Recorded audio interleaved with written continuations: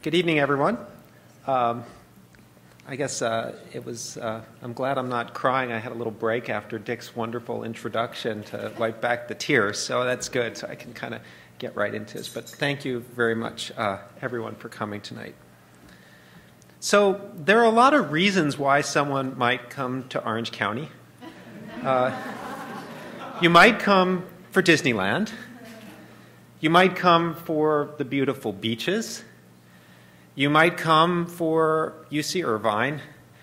Or if you're like me, you might come to get your luck restored re, uh, by touching the boot on John Wayne at the John Wayne Airport. So if you ever wondered why it's all shiny there, that's mainly from me uh, and trying to renew my good luck. Um, but only a few of us get the call from Fountain Valley. And uh, for me, the call from Fountain Valley came from Ron Linsky, and it was a call that said, David, it's time to come and give your presentation to the Research Advisory Board. Because one of my first grants as an assistant professor was from NWRI. And I dutifully came to Orange County. My first trip to Orange County wasn't to Disneyland, wasn't to the beaches. I didn't even see John Wayne on that trip. It was to give a presentation in front of the Research Advisory Board in a windowless hotel room in the basement of, uh, of, of a, a nice establishment close to the airport. And I presented some of the data that we had collected. Uh, we were starting to get interested in the topic of steroid hormones in wastewater effluent and recycled water. And these are some of the data that I presented at that first uh, meeting. And um, and you can see even back in 1998, I guess this grant started in 1995 and it took us a few years before we got reasonable measurements. We were very interested in this question of trace organic compounds that are in wastewater and how they might end up finding their way into recycled water system. Now, any of you who know, who've ever been uh, affiliated with NWRI or who've had the pleasure of being funded by NWRI know what it's like for an assistant professor to come to the Research Advisory Board and to be asked questions about their research. Um, it keeps you on your toes to have such a strong uh, group of people, both in terms of personality and intellect, uh, giving, leading an inquisition into the veracity of your science. And um, I took that as a challenge and it made my science stronger because it was good to have that level of peer review and to have that knowledge, that accumulated knowledge of all those people helping to make my projects better. And that research really did make a big difference. Um, these NWRI funded projects and the input that came from the research advisory boards made the research stronger. And so back in the late 1990s and early 2000s, we started publishing our data on steroid hormones in wastewater treatment plants and in recycled water and in treatment wetlands. And then after that, we started our work on uh, NDMA formation and its presence in uh, recycled water systems and ways of preventing its formation. And I think those projects were all stronger due to the contributions of NWRI. And after a few years of doing this research, suddenly this assistant professor was seen as an expert. And I started getting inquiries from the media, and I started being asked to give talks in front of members of the public. And one of the things that really struck me talking to the public and talking to reporters is how little most people know about what happens to their water when it makes the journey from its source to their tap. And so that experience of seeing a need, an unmet societal need to understand water systems, really was the inspiration that led me to spend four years writing Water 4.0. And I learned a lot in the course of writing this book. Um, I learned that water systems, modern water systems, and even ancient water systems didn't move in a linear progression as technologies improved and progress was made. They lurched from crisis to crisis. And I saw that there were three crises that had led to the development of the modern water system. And in the book, I talk about a fourth crisis that we're facing now and the outlines or the blueprints of that next water revolution. Another thing that I learned as I started working on that book is how many great ideas are out there about how to create this fourth revolution in urban water systems. And knowing that there are so many technologies and so many gifted people and so many dedicated people trying to make a difference makes me much more sanguine about the future of our urban water systems. But yet, as I looked at that system, as I thought about all these ideas there, I was very puzzled by the fact that there are great ideas, there's a recognized problem, but yet it's so hard to bring about change in urban water systems. And so tonight I want to tell you something about thoughts that occurred to me that don't really show up in Water 4.0. They're, they're ideas that have really been forming over the past couple of years after the book's been published about how we as water professionals can bring about this fourth revolution in urban water systems. So I address my, my, remarks tonight not to the lay audience and the general public that was the main target of Water 4.0, but to the water professionals in the room. And I want to try to share the knowledge that we've acquired through our interactions as part of Renew It about that process through which great ideas end up becoming a reality.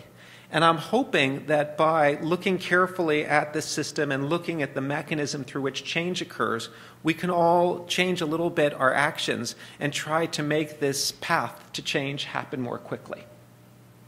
But before I start telling you about the path to change, I think I need to go back and revisit some of the drivers of change in urban water systems. And to me, the biggest driver for change in the long term is climate change.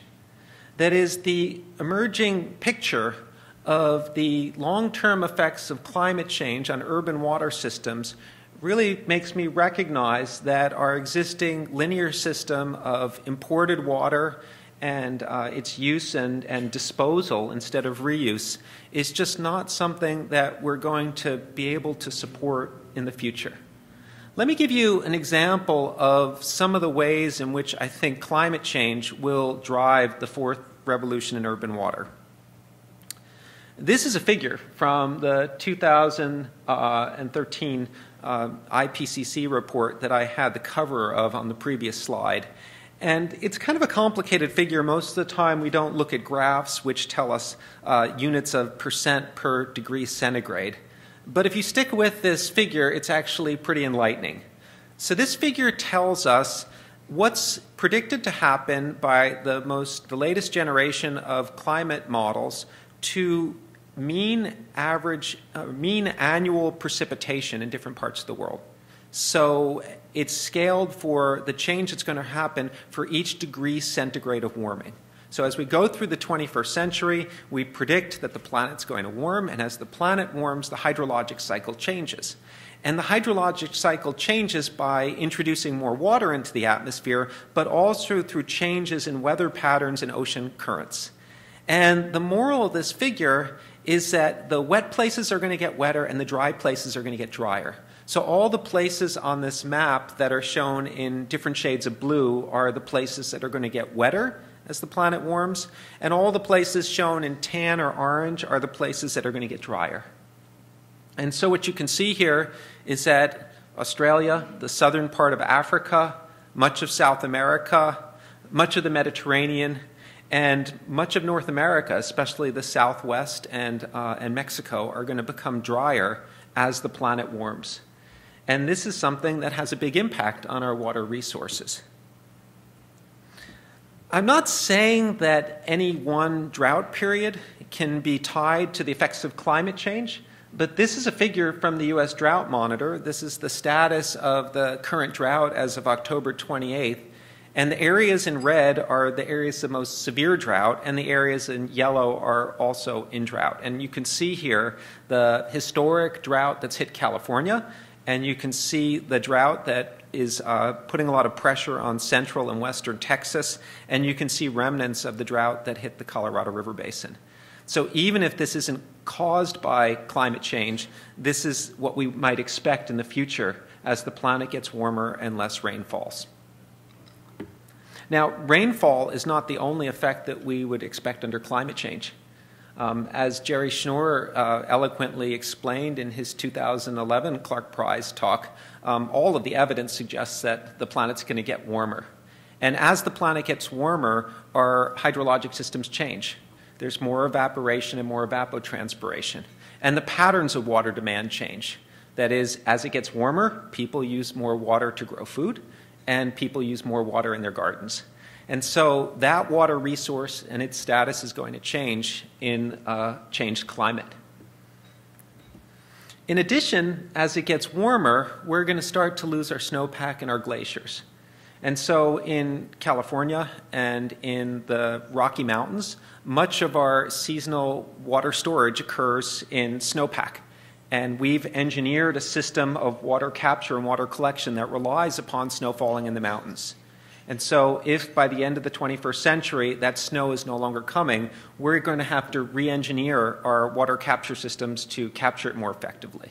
Now, in California uh, or in Colorado or the western United States, we probably have the resources to do it. There would probably be a protracted political struggle over attempts to expand dams and reservoirs and change the hydrologic cycle, but we could probably do this. But if you think about places like Bolivia or India, the Himalayas, where that glacial snow, uh, that glacial ice and snow serves as the main uh, water infrastructure to hold water and deliver water to cities, going to be, there's a need for major changes. So those three things less rainfall, lower yields of water that does fall and increased demand, and a change in the disappearance of snowpack and ice is a real stress on our urban water systems that we've designed based upon a climate that existed for the past hundred years. In addition to climate change, there's another factor pushing us towards changes in our urban water systems, and that's population. So in North America, over the past 50 years, the population has migrated to the places where there's the least water. So this figure shows you these, these funny little blocks on the figure are counties. And the height of each of these irregularly shaped blocks is the population on a county level in the United States. And the other thing that I've done in this figure is I've listed the names of the 20 largest metropolitan areas in the United States. And so the areas shown in blue are counties where the population has been decreasing and will decrease in the future. That is, this is a, a, map that shows you population from 1970 to 2030. And so the areas in blue show shrinking populations, and the areas in red and orange show places where population is growing. So people are moving to the southeast, the southwest, and the south, and those are the places where there just may not be enough water. So I took the liberty here of highlighting the names of the different metropolitan areas in red or, or um, I guess it's looking black on my screen, black, um, to indicate whether I thought that they were going to run into water stress in the future. And all the ones in the southern half of the U.S. are places where I know by experience that an increase in um, in uh, population may not be something that the water supply can sustain. Um, if you think about it, these cities are growing by a few percent per year. And so, over a period of 20 or 30 years, um, the population is going to grow by uh, 30 or 50 percent. And even though we might be able to institute water conservations or measures or reduce water demand, that those improvements are going to be soaked up by this increase in population. We can also cast our eye a little further afield and look at other cities in the world and see an increased stress in their ability to provide water supply for their populations. So I've listed here Mexico City, Sao Paulo, uh, New Delhi, Perth, and Singapore as, uh, as cities. And these seem like a pretty disparate group of cities to be thinking about. But these are all cities where a combination of climate change and population increases really call into question the future of their urban water supply. So in Mexico City, we see uh, groundwater mining and an unsustainable uh, path to providing water in a city that continues to grow. Uh, Sao Paulo, the last time I looked at the, uh, the website that showed the main reservoir for the city of Sao Paulo, it was below 3%, and people are predicting that Sao Paulo will run out of water sometime this month. Um, in New Delhi, that's a place where population continues to grow, and I think we could say of all of the major Indian cities that there's great water stress and a need for finding another way of providing people with water. So it's not just New Delhi, but it's, uh, it's places like Chennai that run out of water every once in a while. In Perth, a change in the uh, water, the, the water circulation patterns has led to a decrease in rainfall and that's inspired the city to make major investments in seawater desalination. And we're at a point now where about half of Perth's water, drinking water supply comes from seawater desalination plants. And in Singapore, a city that's known for its thoughtful investments in urban water systems, um, they had the, drought, the driest February on record. Um, um, last year, or this year, I guess that's this year, and it's called into question some of the things that even Singapore has done to provide for a future water supply. So you can see that these twin threats of population growth and climate change uh, really do give us a motivation to think about reinventing our water systems. Now, with respect to climate change, um, people in our field have, uh, have been pretty quiet about climate change and its impact on urban water systems. We've been willing to accept that there's a great deal of uncertainty about climate change and its likely impact on urban water systems. But I think a thoughtful analysis of the most recent data on climate change predictions suggests that we can no longer claim that we don't know which direction this story is going in. So, why do we sometimes see reticence on the part of water resources planners to more precisely plan for the effects of climate change? Sometimes it's because we're engineers and we just want to get a job done.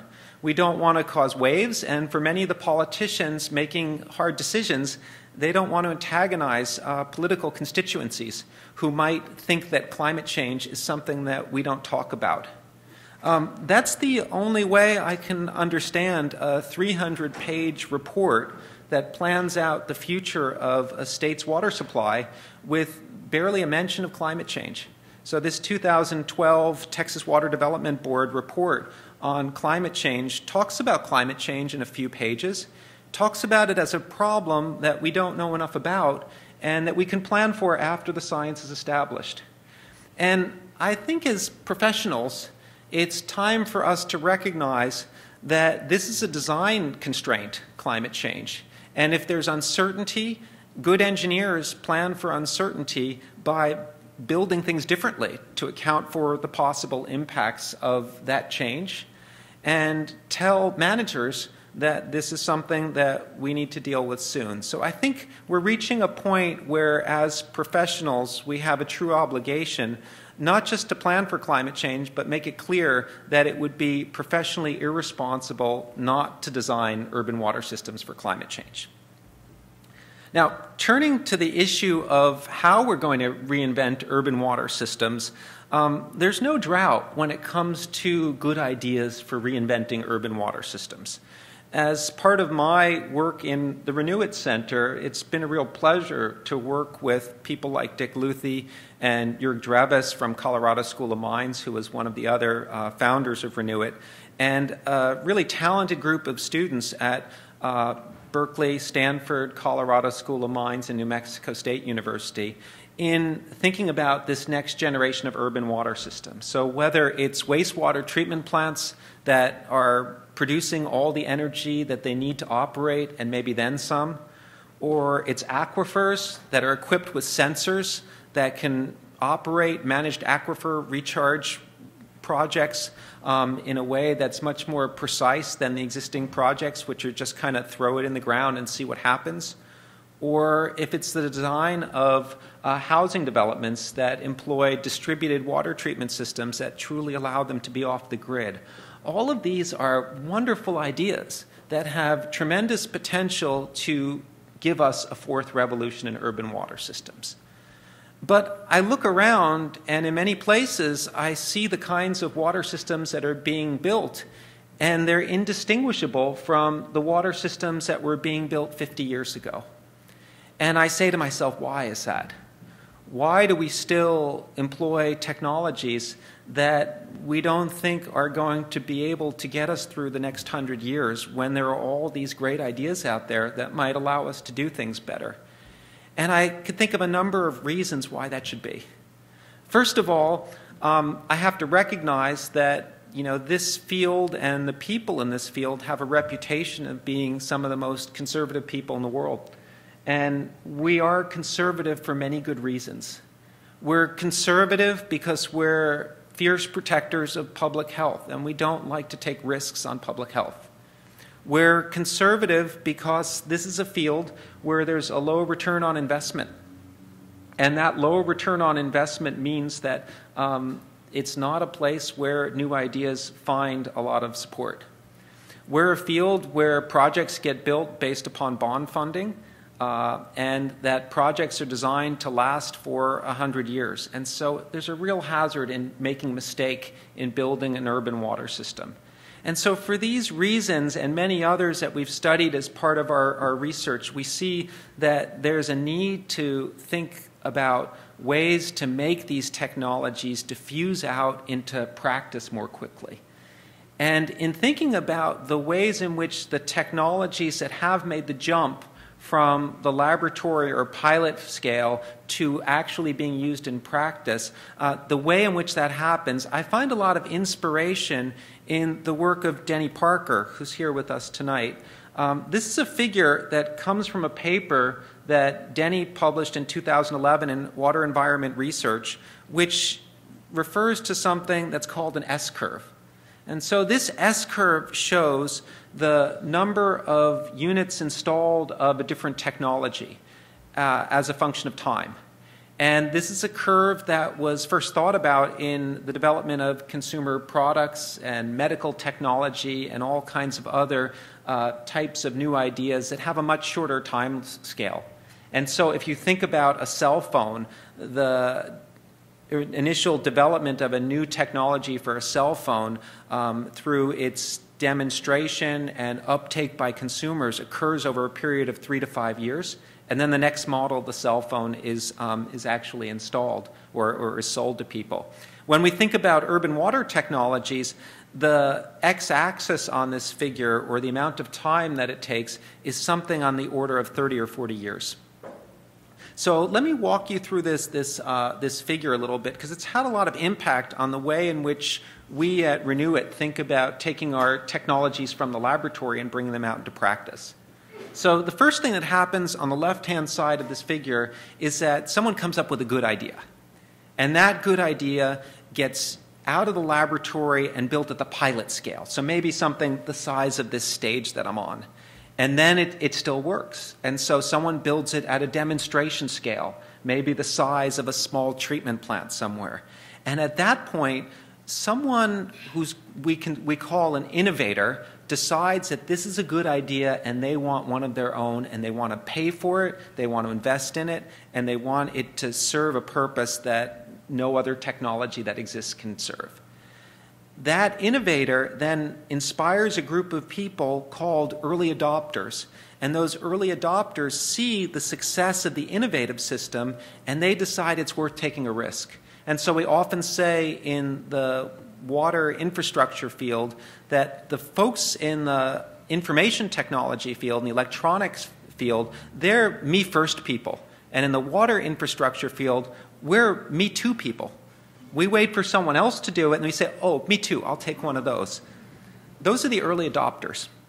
And then the early adopters um, build a few of those, and then the design engineers and decision makers um, say, you know, you could do it this way, or you could do that new idea that I heard about someone else doing. And then very rapidly the number of units of this new technology that are installed grows till the point that you get an early majority and a late majority adopting the technology. And finally, the only ones who don't have it are the laggards, the ones who come later. And when we see this, this pattern, this S curve techno of technologies uh, repeating over and over in different kinds of technologies, as Denny showed for nutrient removal, we think about how we might apply this idea to the development of technologies in the Renew-It Research Center. So I'll give you an example of a technology that uh, Craig Criddle and, uh, and Brian Cantwell and their doctoral student Yaniv Scherson developed. It's called the CANDO process, uh, coupled aerobic anoxic nitrogen destruction operation. Oh, I'm so glad I could remember that. I just know it as CANDO, and that's all you have to know. It's an innovative way to use the nitrogen in wastewater to enhance the amount of energy produced during biogas combustion. And Yaniv worked on this as part of his uh, PhD thesis. And then he won a business plan competition that allowed him to build a pilot scale facility. And then that pilot scale facility inspired a group of utilities to build this at a demonstration scale as part of the Renew-It project. So right now, we're at this left-hand side of the S-curve for innovation with the CANDO process, and we're hoping that we can move to these first applications and this second generation and finally widespread adoption of the technology. So the CANDO process was the first process out of the gates at Renew-It. We have about a half dozen other technologies that are marching along the S-curve. And I think what's most instructive about knowing something about the S-curve is seeing that this process of technology diffusion moves and can be helped by deliberate planning of how to pair up researchers with the uh, early adopters and then publicize those first successful demonstration projects to the people who might recommend that more of these things be built in the future. Now, in some ways, the can-do process was easy because it was replacing existing technologies, it was complementing the existing efforts that people make in biogas combustion, what about the technologies that require a bigger change in behavior and more risk? I told you that we're a risk averse community. How do we get those other technologies to be taken up? Well, it's part of our research in Renew It. We established a project uh, with um, uh, Bernhard Truffer and Christian Binz at Eawag and uh, Sasha Harris Lovett and Mike Kiparsky at Berkeley to study potable water reuse and the uh, way in which projects manage to be not only successful technologically, but embraced by their community. So anyone who's read Water 4.0 or who's been in Southern California for the last 20 years know that there are some potable water reuse projects that go down in flames. They go down in flames based upon uh, a public not accepting them. And there are other potable water reuse projects that are accepted and even embraced by the community. And we sought to understand why this should be. And the lesson that we learned, we learned from Orange County Water District and the Groundwater Replenishment Project, and before it, the Water Factory 21 project. What we learned from this project is that it's not enough to hire consultants to produce a nice website or a nice brochure that uses just the right language and shows the right images. If you want a community to embrace and accept a technology, you have to create legitimacy. And we refer to this framework of the uh, creation of legitimacy as, uh, as the means of realizing new technology adoption and diffusion, especially in the area of potable water reuse. And we see this very much like the way in which air transportation uh, became legitimate to the public. So I don't know how many of you, probably most of us aren't old enough to know about it, but if you read about the early days of air transportation, it was a dangerous endeavor and it was a new technology that the public didn't necessarily trust. And so the air transportation industry created a safety culture that was more than just using the right words to explain why air traffic was desirable and safe. It was a way of creating uh, a system and changing the institutions that existed before to make sure that safety was taken seriously. And when we look at the actions of Orange County Water District and what differentiates them from potable water reuse projects that failed, we see that a lot of that difference comes from the fact that they changed their institution. They increase the amount of transparency in their activities. They engage the public, and they change the attitudes of their managers about the way in which a new technology is implemented. And so I think that this is particularly important not only to assure the acceptance of a technology, but also to protect the public health of people because the managers at Orange County Water District responsible for the groundwater replenishment project are not afraid to tell management when they see a situation that may not be safe for public health. And they're not afraid to take actions to correct problems, and they generally don't sweep things under the carpet just to be able to go home on Friday afternoon. So that's an example of one technology which was a little harder to get out than, oh, I should show a picture. Oh, there's a picture of Christian and, uh, and Sasha uh, and Mike Markus at the Orange County Water District, and they're drinking recycled water from the groundwater replenishment project. And that's part of communicating with the public and starting this dialogue about uh, potable water reuse by letting the public experience uh, exactly what the water tastes like. There's another challenge for the diffusion of new technologies that we've encountered in Renew-It, and that is uh, when new technologies are, um, are radically different and challenge the existing business model. And um, this is a, a, figure of a report that I had the, uh, the good fortune of participating in. Um, Kala was one of the instigators of this project, along with the people at uh, the Water Environment Federation and uh, and the Johnson Foundation, but we got together and talked about integrated or distributed water systems. And I think that many people in our field see great potential of distributed treatment systems to uh, reduce the energy consumption in water systems, to make them more resilient and responsive, and to allow us to grow and shrink water infrastructure as cities grow and expand, uh, grow and contract, rather. Um, and that's a really good thing. I think we heard a talk about that today and saw the potential for distributed uh, treatment systems to change urban water infrastructure. But a lot of the distributed water systems that are being studied now are being studied because they're a means of handling wastewater. So they're either being studied as a way of reducing combined sewer overflows or they're being studied as a way of saving energy. Personally, I think that's a great thing. But when I think about the challenge that takes up most of my time and occupies many of the people in this room, I don't see membrane bioreactors in the basement of an office building to clean water so that you could flush toilets that are becoming ever more efficient as a means of expanding our urban water supply. I think that distributed water systems have great potential if we can figure out ways in which they can provide us with drinking water. And in the early days of ReNUWIt, we started working on a project. I think Jörg Drewes instigated a project where we'd look at point of entry treatment systems that would take uh, recycled water or roof water or stormwater runoff and treat it to a point where it could be used as a drinking water supply within a house.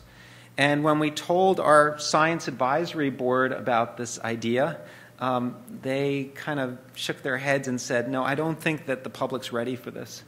And they encouraged us to go back and talk to our industrial advisory board members and other people in the community.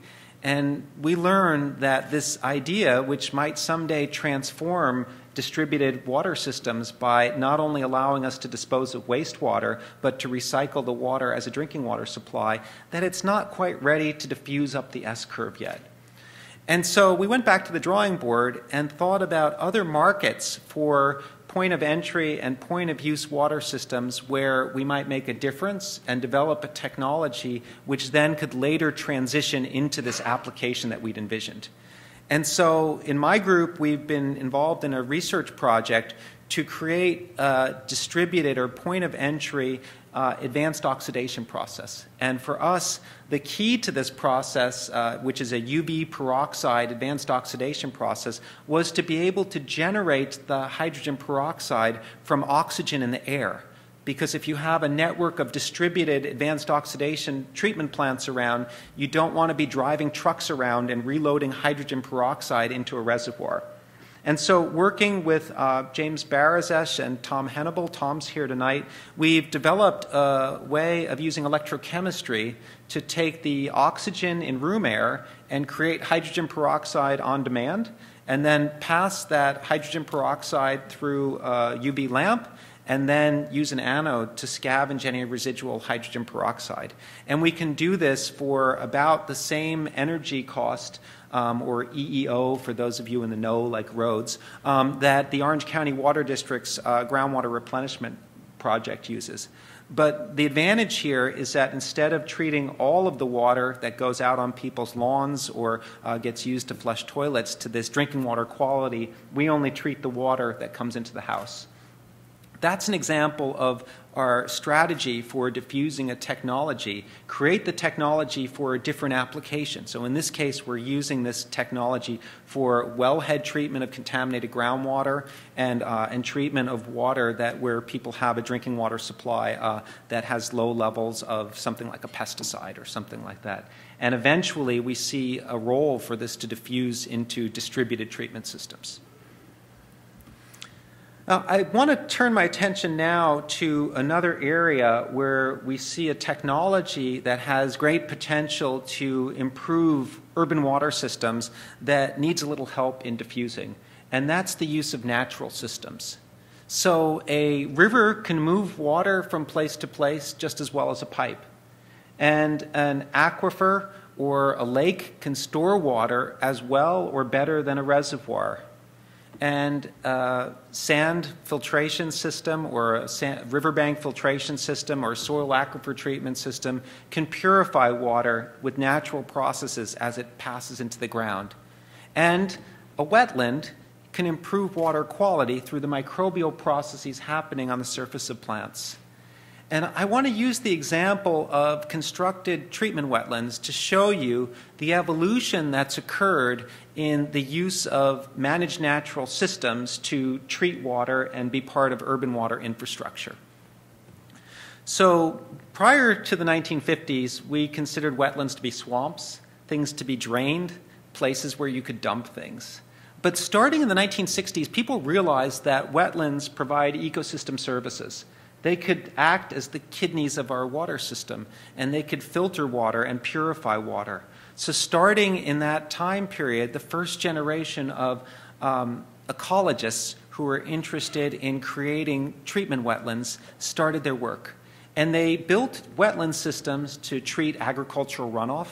They built wetland systems to treat uh, wastewater effluent, to polish it. They built wet- wetlands to treat uh, industrial runoff but they were inspired by the ideas of how a natural system should function, and so they were very much influenced by the idea of ecological self design.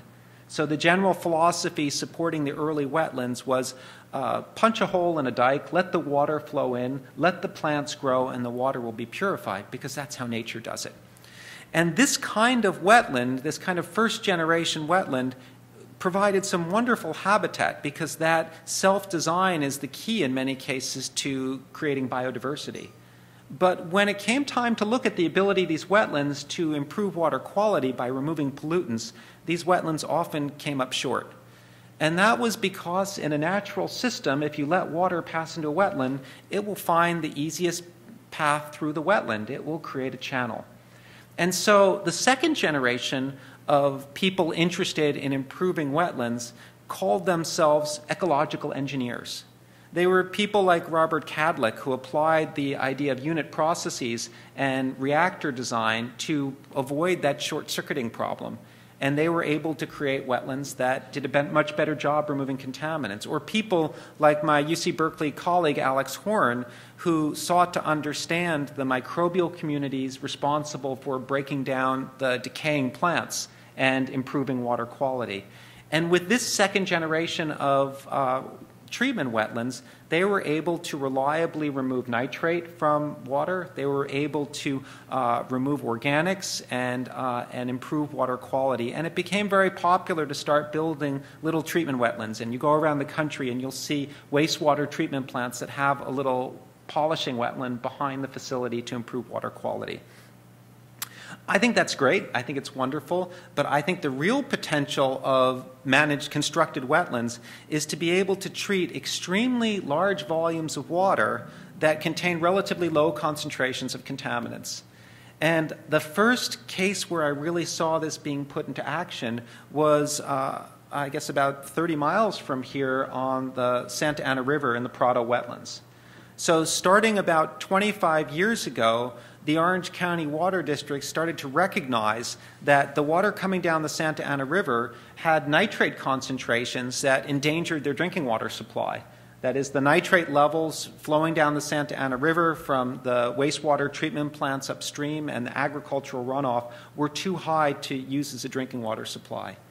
And what they did was they partnered with Alex Horne and they re examined their Prado wetland system and they embraced this idea of avoiding hydraulic short circuiting and choosing the right kinds of plants to grow up a system that was capable of removing nitrate. And with that system, they treated about half the flow of the Santa Ana River and reduced the nitrate concentrations to a point where the water was safe to drink.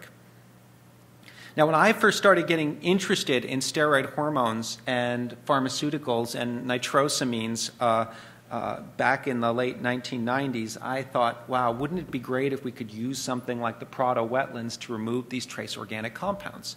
And so, one of my first PhD students, James Gray, studied the ability of these kinds of wetlands to remove steroid hormones from, uh, from the Santa Ana River water. And what we found was that these wetlands, which were so good at removing nitrate and other contaminants, were pretty bad when it came time to remove an exotic trace organic compound like ethinyl estradiol or 17 beta estradiol. But we weren't discouraged, or at least I wasn't discouraged. James just graduated, but I wasn't discouraged about this. I said, there's got to be another way to do this. And we recognized by taking a step back that maybe we didn't need a vegetated wetland at all. Maybe we could take advantage of the ability of sunlight to break down these trace organic contaminants. And so, working again with Alex Horne, uh, we created a new kind of wetland system that really isn't a wetland system at all. This figure, which Dick showed uh, in his introduction, is what we call our open water unit process system. What it is essentially is a geotextile liner which prevents wetland plants from rooting, and a series of boards in this case to assure that we don't get hydraulic short circuiting. And we feed the wastewater effluent in on one side, and we let the sunlight penetrate through the water and break down the contaminants. And so, with that sunlight, we're able to break down many of the pharmaceuticals and personal care products that we're interested in studying. Um, and my colleague Kara Nelson and her student Mi Nguyen has have studied the ability of these systems to inactivate waterborne pathogens because we all know that if you shine sunlight on uh, water long enough, you'll inactivate uh, viruses and bacteria, and we see four logs of removal over a period of a couple of days in this system. So, this is a system that's really good at removing uh, trace organics that are susceptible to photochemical transformation and inactivating waterborne pathogens. Um, the student who was responsible for this project, uh, Justin Jasper, was really surprised when he saw that the algae and bacteria that accumulate in the bottom of this wetland system also break down trace organic contaminants and also remove nitrate. So, this system, which um, is often supersaturated with oxygen, has uh, micro aerophilic zones that are able to remove nitrate by denitrification and remove nitrate uh, through the Anammox process. And so this system, this simple, uh, noble system here, has a hydraulic residence time of, uh, of two or three days, gets us better removal of trace organic contaminants, microbes, and nitrate than the wetland system that we'd studied in, uh, in the Prado wetlands that had a residence time of about a week. And so, with that information about the way that this pilot scale system worked, we approached the Orange County Water District and convinced them to build a demonstration scale system. So, this is an aerial photo of the demonstration scale system that we built about um, 14 months ago in the Prado wetlands. And just to give you an idea of scale, this picture was taken from a Cessna, and each of these little parallel runs here, the, uh, the soil in between, those, those gray areas, you can drive a pickup truck across. So this is really truly a system at demonstration scale. And for the past 16 months, we've been studying this system and its ability to remove trace organics. And so you can see we worked our way up the S curve from laboratory experiments that showed the potential to use photochemistry to remove these contaminants to pilot scale studies to now a demonstration scale. And we're excited about the idea of diffusing this out to the community and are currently looking for other, uh, others who'd like to build similar kinds of systems. So, um, you know, being here and receiving the Clarke Prize, that's a great personal honor. Um, but really, it's, uh, it's not an honor that just falls to me alone. Um, I think that I tried to show in this brief talk some of the places where my colleagues at ReNUWIt and my students and the collaborating utilities have contributed to this work. And I wish they could all be up here and share the podium with me, um, but then the talk would be a little incoherent. Um, but um, you know, seriously, um, I don't think it um, it would have been possible to do this without a very large team of people involved in it. And so I listed the names of some of the people at UC Berkeley, and in parentheses, the ones that have left. I show you where they've gone to indicate that these people have gone out and uh, cross pollinated uh, with the rest of the uh, academic and professional world. But they come from UC Berkeley, they come from Stanford, they come from Colorado School of Mines, uh, New Mexico State, and, and Eawag ETH Zurich. And, um, and they've been instrumental to the success of this work and an inspiration to me. There are also the funding organizations. Uh, you know, NWRI was the place I got started and, and had faith in me to fund some of my first work. Some of this work was done through uh, support from WRF and the Paul Busch Award. And, uh, and much of the work has been done through individual investigator grants from National Science Foundation and later on through ReNUWIt. Um, plus, I just show you the town of Discovery Bay and Orange County Water District because they're the ones who really took a risk on building the open water unit process wetlands. Um, I'd also like to really, you know, I guess it's not possible to give my thanks because he's no longer with us, but Ron Linsky, the founding executive director of NWRI, was someone who took a chance on me uh, when I had some things to tell water managers that weren't particularly po uh, popular. I remember the looks I got when I told people that the recycled water might have things in it that weren't good to drink. And Ron stood behind me and convinced the group that this was something that we really had to get ahead of. And so this group of people and many others who I interact with are what the social scientists call an innovation ecosystem. And an innovation ecosystem is a social endeavor. It's a cross fertilization of ideas, it's a sharing of ideas, it's a progression of different roles that we all play in a community. And I feel particularly fortunate to be part of a, an innovation ecosystem that has its roots in California and California culture because what I've found in this innovation ecosystem that I'm part of is that we have a state and a way of thinking that encourages people to take risks and rewards them for it. We have people who take seriously threats to public health and the future of our planet. And we have people who are um, creative thinkers and are inspired by all the technological innovations going on around them. And I think as a scientist and a researcher who spent the first part of their life squirreled away in a laboratory, toiling away on what they thought were really cool projects, it's been an eye opening experience to see the role that we all can play in advancing this remarkable system that is urban water infrastructure. Thank you very much.